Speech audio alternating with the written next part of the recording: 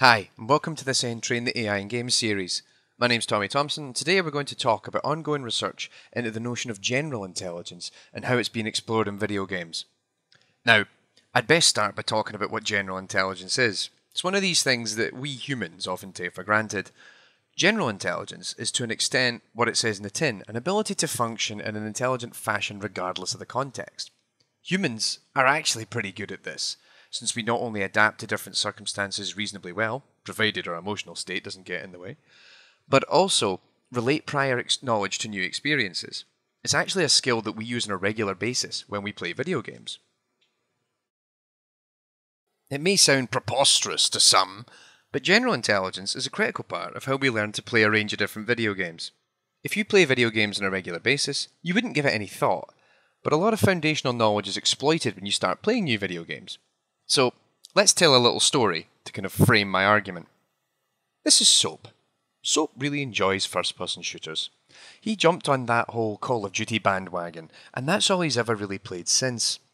Then, one day, Soap decides he wants to play a different game. He sees a different shooting game called Battlefield and decides he wants to try that game. Now, when Soap starts playing Battlefield, he finds it remarkably familiar to his sweetheart, Call of Duty.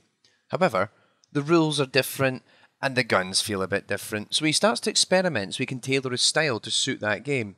In time, Soap becomes very good at playing Battlefield. It's a nice story, isn't it?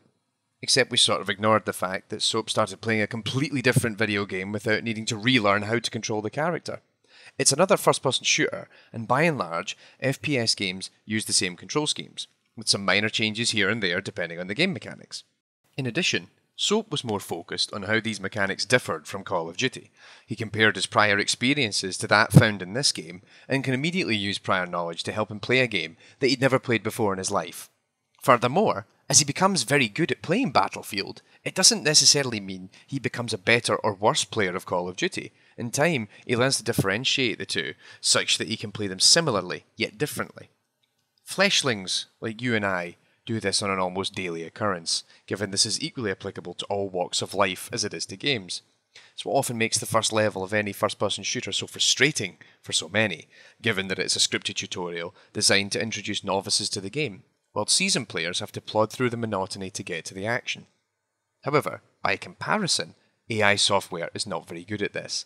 AI is often built to solve a particular problem, or a larger set of problems that exist within a domain of the world. As such, this is still one of the big challenges on the AI to do list. Many of the examples of AI seen in science fiction can't function lest they exhibit some general intelligence. If not, the Terminator may well have just wandered aimlessly in Los Angeles stark naked, or maybe have done nothing at all, since it could not relate 1984 Los Angeles to its experiences from 2029. So, what are we doing to address this problem? General intelligence in video games is one of many issues that was discussed back in 2012 at a research retreat at Schloss Dagstuhl in Germany. In fact, I was part of the group that discussed the relevance of this topic. Um, general intelligence is not new to AI research, and in fact, board games already have an established body of research in this area. However, video games were still lacking in this detail. Cut to 2014, and this idea has matured into the general video game AI competition, where researchers and hobbyists are encouraged to submit AI software that's capable of playing a range of different video games. The framework, developed largely by this lot, is reliant upon the video game description language developed by Tom Schaul. Once again, this is another idea that arose uh, from the Dagstuhl retreat. This is highly useful given that the, soft, the system can quickly replicate classic video games such as Frogger, Space Invaders, and Missile Command by defining them in the language. Then, the GVG AI framework will build these games to suit. Now, it's expected that any AI software you write can not only play all 10 games that are provided within the framework, but also any game that is defined in the competition that are not revealed to players beforehand. When writing a given bot, Players are reliant upon two pieces of information what the current state of the world looks like, and how much time they have to make a decision. The information provided on what is happening in the state is fairly broad. However, what it all means in context is something you have to discover for yourself. There's an interesting task to consider when you look at the Space Invaders game in action. As humans, we can quickly associate how using the controls will affect the avatar and transform the world, this subsequently, uh, you know, having an impact on the score. But when the state is raw observation data, how do we ensure an AI is able to make these correlations? It's a very interesting problem that hopefully continues to grow in the coming years. And that's it for this entry in the AI in Games series. If you're interested in creating your own GVG AI bot, then head on over to the link on screen now to download the source code and get started. As always, there's written works attached to this video for those who want to know more, which also details my explorations of the source and a little on my own time writing a bot for the competition.